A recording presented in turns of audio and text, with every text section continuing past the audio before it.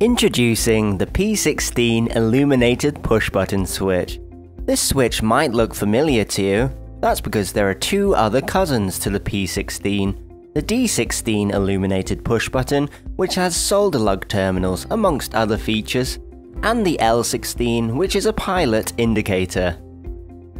The P16 is a single pole double throw switch that comes with socket terminals, making installation an easy and painless process. Like its other counterparts, the P16 comes with a plethora of customizable features. Notably, the actuator has six options to choose from, ranging from square, rectangular, and round options.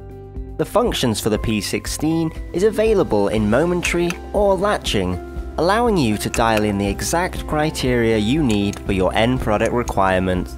There are an impressive 14 lamp and voltage options for the P16, Either LED, incandescent, and neon options can be chosen, once again giving you the power to find the exact switch needed.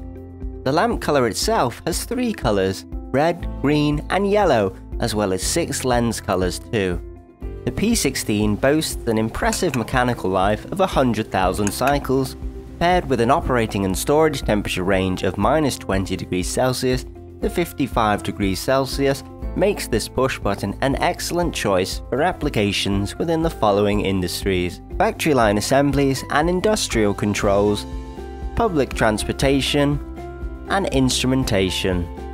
Don't just compromise when it comes to switch selection, find the exact switch you need to complete your next project.